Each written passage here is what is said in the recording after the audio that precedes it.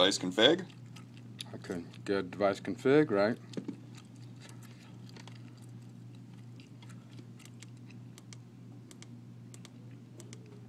X address.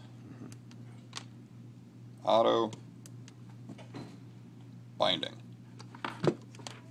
Grab our node. Set our dial to a unique address. I believe in this case we want 10. Device config. Oops. X address. Auto. Network binding. Bound. That one says bound. This one goes back into binding mode. Okay, this will go back to run mode now.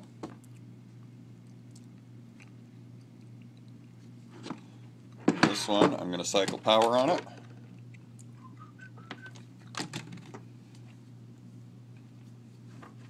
If you're doing more than one node, after this one cycles power, you leave this one in binding mode, and you just bring out the next node, set the dials, and do the bind the same way. And that's it. That's it, huh? That's it.